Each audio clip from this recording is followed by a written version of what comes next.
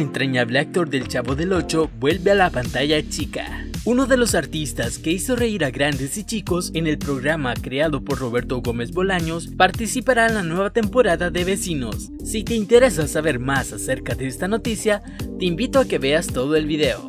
Sin decir más, empecemos. Fue Roberto Gómez Bolaños quien tuvo la brillante idea de crear El Chavo del Ocho, el programa de televisión mexicano con más éxito de todos los tiempos. Quienes participaron en él se ganaron el corazón de miles, pero de miles de personas en todo el mundo, y no hay quien que no lo recuerde con mucho cariño.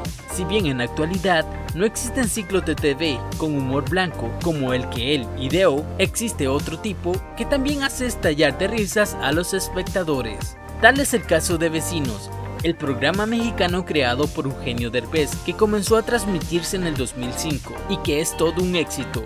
Este año estrena su temporada número 11 y viene cargada de muchas sorpresas. Una de ellas es que se suma a las entregas uno de los entrañables actores de la serie de Chespirito.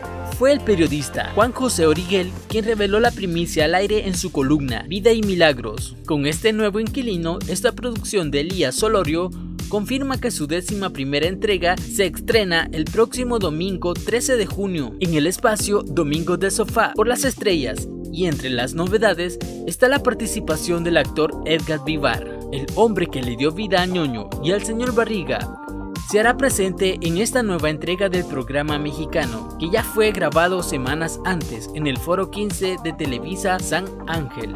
Sin duda causará un poco de nostalgia ver este actor en la pantalla chica, pero muchos todavía estamos pendientes si volverá o no volverá el Chavo del 8 a la televisión.